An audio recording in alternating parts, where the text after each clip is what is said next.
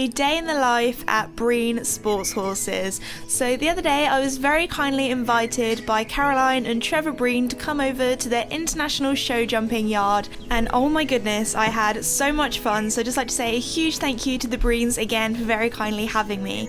So, my morning started off with having to get all of the horses ready for the day. So, the first thing I had to do was take off the horses' stable rugs and put on their fly rugs and their fly masks, as well as their turnout boots as well to protect their legs out in the field.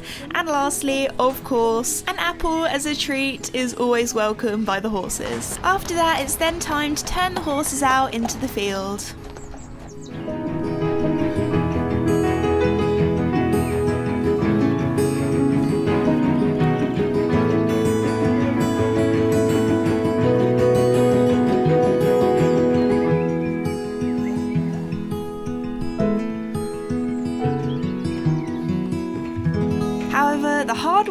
Hadn't finished there. It was then time to muck out all of the stables, and luckily, I had a huge industrial sized wheelbarrow for the job because when you have that many stables to muck out, a bigger wheelbarrow does help.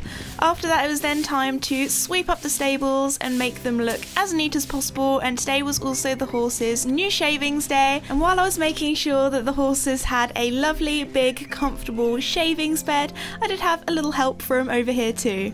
Oh, you helping out? Meanwhile, I was mucking, everything was going in the yard, especially as a lot of the horses had come back very late from a show the night before. Things needed to be unpacked, and the horses that weren't at the show also needed to be exercised. For some horses, it was a hacking day across the fields, and for others, it was a flat work day or a jumping day, so it was then time to find some poles and some wings and get some fences set up. Hi Esme, how are you? I'm good, thank you. Thank you so much for having me here today. Obviously, you had a late night last night coming back from Bolesworth. How was that? Yeah, it was a really good show. Uh, thanks for coming. We're re- really happy to have you here. Um, yeah, late night last night, but it's um, yeah, kind of part and parcel of the job, really. Yep. uh, and now, yeah, Monday morning, new new day, new week, and kind of get cracking on, on the horses that weren't at the show for, for this week's show. Awesome. So, uh, we setting up some jumps today? Yeah, that's my plan. I was going to set up a little grid and exercise for those horses just to get them going for this week. So I was hoping you'd give me a hand. Yeah, I'm happy to.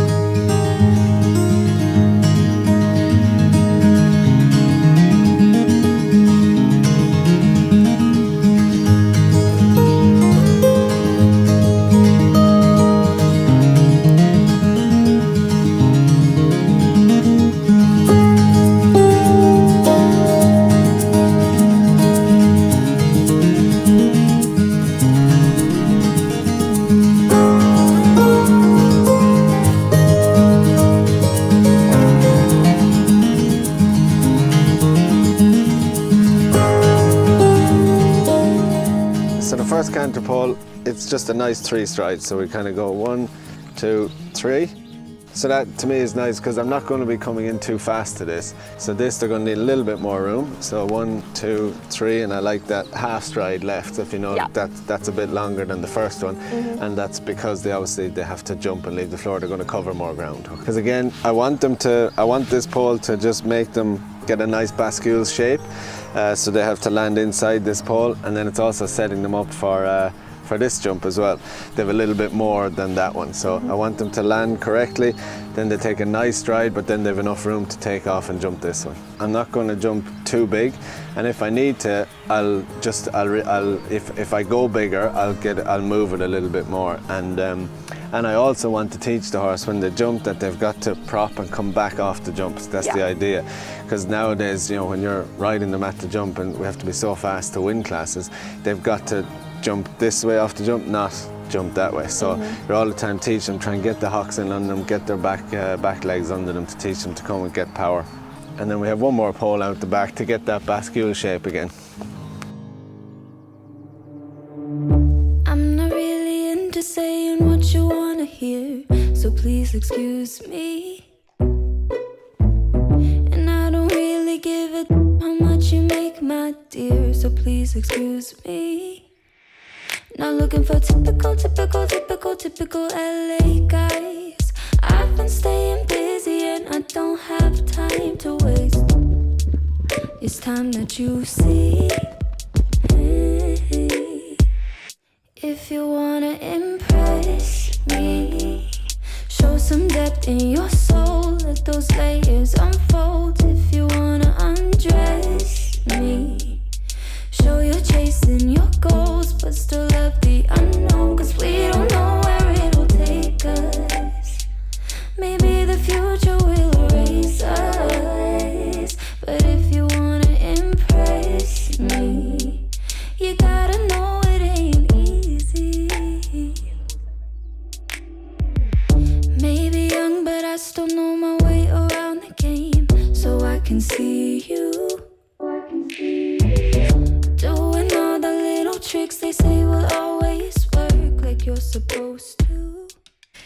Really cool to be able to see Caroline and Trevor train with their horses at home and do some jumping.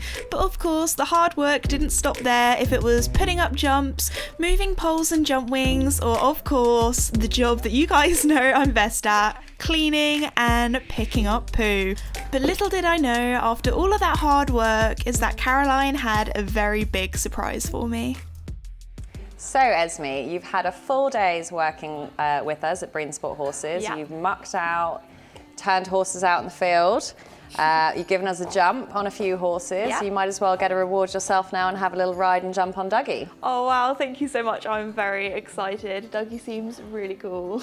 Yeah, so he's 16 years old. Uh, he's been with me for eight years now. We've done everything together. He's won in most international arenas in Europe. So he's a really special horse to us at Breen Sport Horses. Um, and I think you're going to have a great time riding him. oh, thank you. Thank you for trusting me with him as well. Oh. No worries. Should we get him tacked up? Yeah, sure. When Caroline said that I could ride Dougie, I was honestly so shocked, surprised, nervous, and excited all at once because Dougie is such a nice horse. He's a Grand Prix horse that's gone up to the top level. And for someone like me who isn't a professional rider, to have an opportunity to ride such a nice horse really is a once in a lifetime opportunity. But I didn't let the nerves get the better of me. I was really excited, so then it was time to finally get on Dougie. It was honestly such a pinch me moment. It didn't really feel that real to be able to ride a horse with this much competition success. But anyway, it was then time to go out into the arena, warm up, and then it was time for Caroline and Trevor to give me a bit of a lesson. I could have the worst day ever or be so upset or outside things could really upset me and he's the one thing which you can guarantee you'll go into the ring and just come out with the biggest smile on your face. He is he's an absolute dream. So enjoy it. Yeah. So you can shorten your reins up with him. You can go light seat, you can circle, you can wait, move him forwards, whatever suits. Just as long as he's warmed up and he's bending and things like that. But he has a completely different engine when he's cantering. Yeah.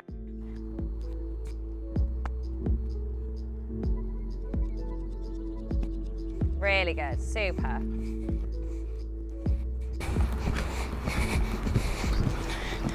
Yeah, that's perfect. Good.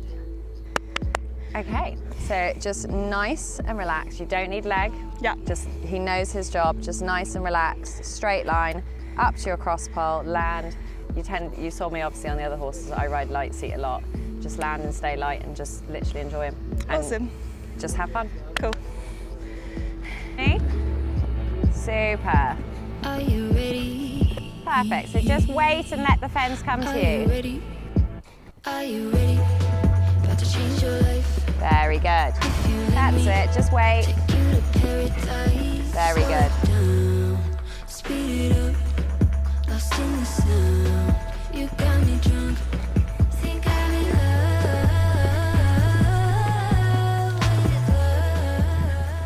Perfect. Absolutely perfect, Esme. Beautiful. Fantastic. Super. Look up. Don't push. Look up. Look up.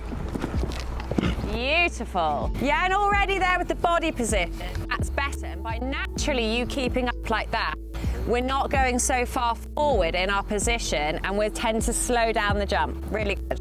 Riding Dougie was just absolutely incredible. To ride a horse that I've never sat on before and jump one of the biggest fences I've ever done and make it feel so easy at the same time, it's a moment I'll never forget and I really cannot thank the Breens enough. Just take it slow and be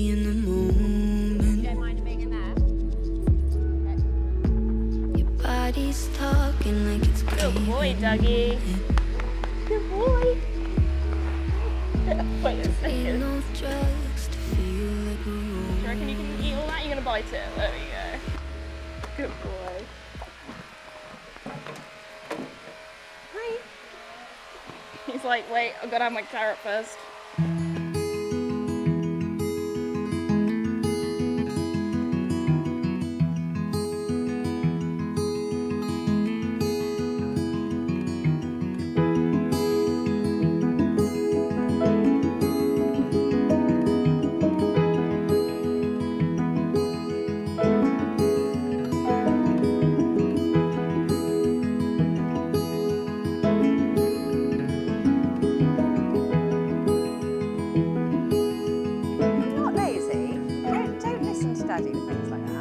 I thought we'd sit down, have a little bit of a chat, but before we start, I just wanted to say thank you so much for letting me ride Dougie and for the lesson as well. I had so much fun and he was just awesome. Oh, I'm so glad you enjoyed him. That is literally the way I feel every time I sit on him. He Yeah. just makes you feel magical and special and enjoys it, um, which then, you know, follows through to us. So, Yeah. no, I'm glad. And, and you did a fantastic job, by the way. Oh, thank Very, you. very good. I was very impressed. Were you? I was really impressed. Um, I think there's a bright future ahead of you. We need to get you in the game. Yeah. Oh, thank you. Come back for some lessons then. Absolutely. That'd be awesome. Yeah, I'm sure Joey would be up for that as well. Perfect. Look forward to it. Cool. So with horses, you're always learning something new, but which horse would you say, both of you, has taught you the most? I suppose for me, uh, from a teaching point of view, uh, Adventure de Kannan is a horse that um, is very close to my heart. First of all, um, he's uh, owned by Karen Swan, and uh, I had him his whole career. Uh, obviously, Karen had him until he was seven, and then uh, I, I, you know, he's probably one of the only horses I've actually retired. Um, we, you know, we, we came up all the way up to Nations Cup, won the Derby, uh, and then obviously Addy went through the traumatic experience of losing his eye. Um, uh, it was something we dealt with for quite a long time, and eventually, you know, he lost his eye, and then having to reassess. And at, at one time, when I said to Karen first, she thought that was it when his eye had to come out and he would have to retire. And I was like, no, no, we're, we'll go again. And so she was delighted. And so then just to reassess after being very successful, a, a, a very dramatic change, and then to, to kind of you know reset the clock and go again. And, and we both had to learn things again. Some things we, we just picked up and went down. Other things we learned. And I just found. Um, it was a fantastic experience to learn that, and obviously from he was, for me, the most intelligent horse that I've ever ridden, um, and uh, had a heart the size of a lion. So that must have been, yeah, a really big change for him. And Caroline, what horse would you say has been the one Uh, that's taught believe it or not, not Dougie, because he just makes it too easy and too fun and just knows his job inside out. Um, I had a horse um, a good few years ago called Farina, who uh, I rode for an owner and jumped some bigger classes on her. And she was really, really special. She tried really hard in the ring for me, got me back jumping some bigger classes. Um, I had a lovely, lovely attitude to, to going to shows and yeah, just it, it was it was a really sort of magical, special building building up time after having the kids and things like that, getting back into it. So she was she was very special to me. Oh, awesome. So, Trevor, you have had a lot of success in your career, and that's also included winning the Hickstead Derby twice. Um, I've been uh, had the really cool experience to take my Connemara pony, Casper, up to the top of the Hickstead Bank, but you know, the view up there is incredible, but you're also really high up. What do you look for in a Derby horse? Um, look for in a Derby horse. It's a, it's a really it's a question I get asked a lot, and I, I always am a bit uh, flummoxed when I'm asked it because it's it's something that just it's not something a quality you look for. It's just something that you ride a horse and you get a feeling that this could be a Derby horse. Um, basically, they need to be brave because of like you said, uh, the bank, uh, the Devil's Dyke, the water jump, the dry ditch, the double of ditches. You know, it goes on.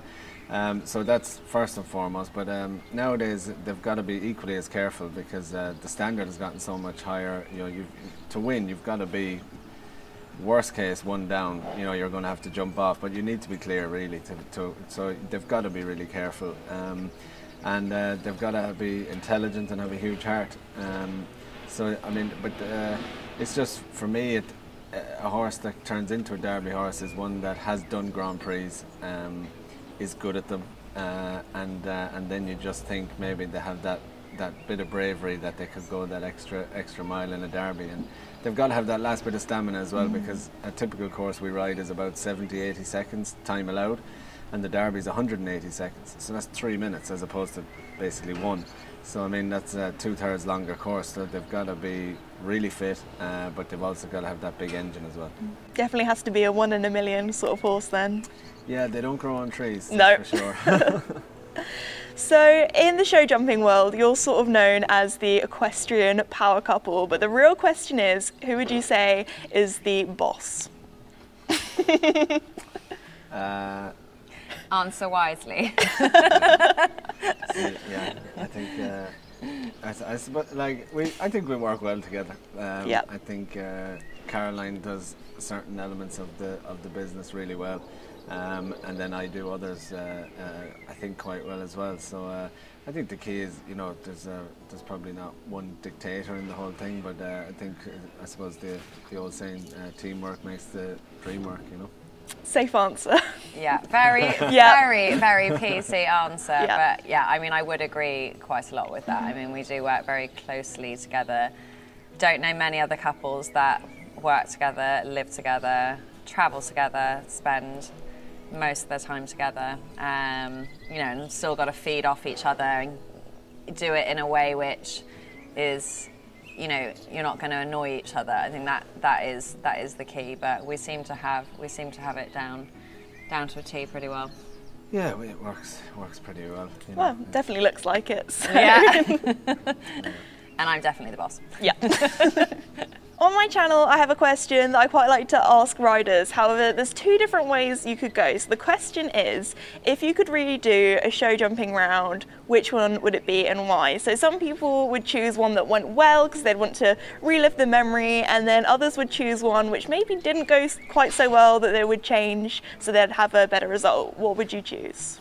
So, uh, a strange answer to a question because I don't actually have any want to go into this class, but in my head, it's a class that I would love to do, but I actually just don't think I'd be brave enough to jump that high.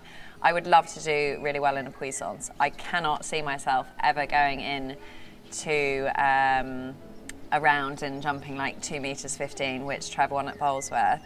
Uh, it's just literally mind blowingly huge. But I would love to have that feeling of jumping it and going clear and the crowds and just such a massive, massive one obstacle to go and compete at. So a bit of an odd one, but Yeah. um, yeah, that's definitely what I'd love to do. And Trevor?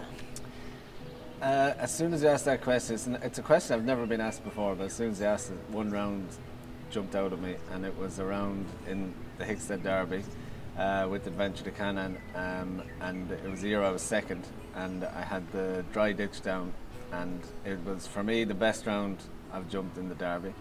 Um, and he just, I mean, it, only Paul he touched the whole round, clipped the dry ditch behind, like barely touched it and it cost us the win, and we finished second. Um, but it, it was also for a more important reason. It was my mum had passed away uh, just a week previous to the derby, so it was, and I was a favourite to win the derby as well. And I, I really, It's I- a I was huge sick amount of it. pressure, wasn't it? It it was- it from was from everyone sort of saying, you know, it, it was one of those classes that it was. But it- he was ready to win the derby, and, Yeah. and in the derby trial, uh, Shane, I was in the lead. Shane beat me, my brother. He won the derby trial. I was second. I just thought it was in the stars. Everything was aligning, and um, and it just didn't come off. And if there was one round I could repeat and just get that pole out of the way, that would be it. And uh, it was it was the worst second place I've ever had, and I was absolutely gutted. But luckily, you know, as things work out, I won it the following year, and, and to be honest, I was a bit lucky to win it the following year. To be honest, I think in reality, uh, Phillip Miller beat me that year, and I beat him the following year. But in reality, I think we deserved to win the years the other way around, I, and it would have been probably a better result. But anyway, we both got the win, and it was all good. But yeah, that's definitely the round I would love to have back again. So, guys, I just wanted to say another huge thank you for having me here today. I have had so much fun. Yeah, thanks so much for coming. I think everyone from the horses, Dougie, uh, our staff, the kids, we, we've loved having you here and uh, we hope you come back again soon. Yeah, definitely been a breath of fresh air and uh, delight to have you. And hopefully, we'll see you again for a few lessons. Oh, that would be awesome. I'd love that. So, anyway, guys, before today's video ends, I'd like to say a huge thank you to Ariat as well for making today's video possible. I'd like to say a huge thank you to you guys for watching today's video. If you're new or haven't done so already, please like and subscribe. It really does help me out and I really do appreciate it. And I'll see you all next time. Bye!